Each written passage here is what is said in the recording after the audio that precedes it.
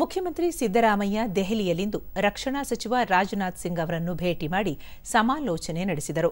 ಈ ವೇಳೆ ಉಪಮುಖ್ಯಮಂತ್ರಿ ಡಿಕೆ ಶಿವಕುಮಾರ್, ಸಚಿವ ಡಾಕ್ಟರ್ ಎಚ್ ಸಿ ಮಹದೇವಪ್ಪ, ರಾಜ್ಯ ಸರ್ಕಾರದ ವಿಶೇಷ ಪ್ರತಿನಿಧಿ ಟಿಬಿ ಜಯಚಂದ್ರ ಮತ್ತಿತರರು ಉಪಸ್ಥಿತರಿದ್ದರು.